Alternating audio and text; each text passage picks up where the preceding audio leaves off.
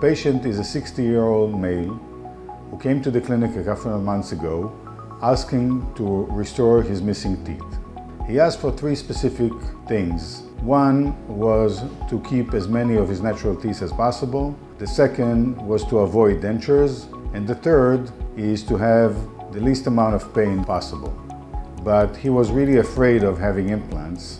And that's why we uh, suggested the use of guided surgery to minimize pain, to minimize cutting of tissues, and to allow him to have as many implants as possible within a single visit.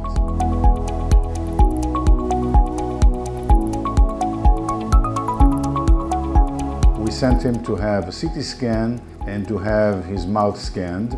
We decided to have two implants in the front, extracting tooth number 22, the lateral incisor, two implants on the left, we could not place three, and three implants that the laboratory suggested on the right, although it was not sure whether we could place the last one. Once we had a plan approved by me, the laboratory fabricated the guide. We scheduled the uh, surgery with the patient, allowing us about two hours of surgery.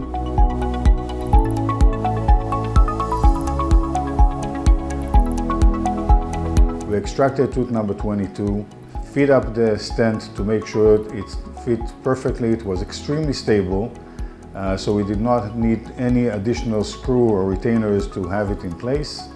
The system itself is very easy to use. It follows a very logical approach that starts with a tissue punch that just goes and creates uh, circular cuts in the tissue to allow us to take off the gingiva, the excess gingiva, uh, once the bone is exposed, uh, we start with the pilot drill. The pilot drill is probably the most important drill in the system because it will center uh, the position of the future implant. The system works in such a way that we start uh, rotating the drill before it touches the stent or the guide.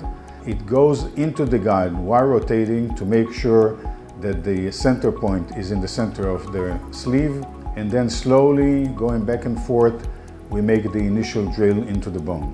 The second one is based on implants length. Since we had all implants as 3.75 implants uh, in different length, we started by having all of them drilled into 10 millimeters using the 2.5 millimeter, again, rotating it as it goes in. The drills themselves are built in a very unique way. They have self-centering cylinders at the top, so all of them go to the same position, all of them go to the center of the sleeve. The second thing that is important with them is that they all have built-in stoppers.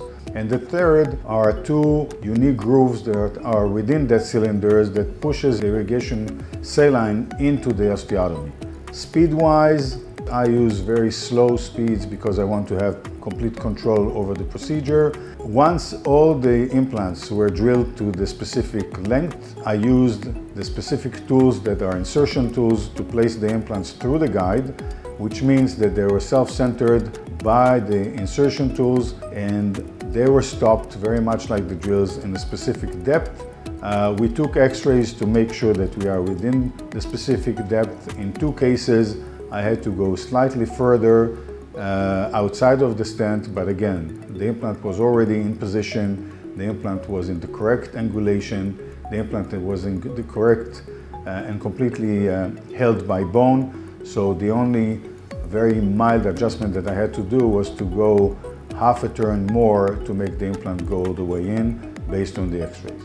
Once we finished the left side, and the front of the, of the case with four implants, I asked the patient whether he was willing to go for the other ones and he said yes, it was less painful than he thought, it was less traumatic than he thought.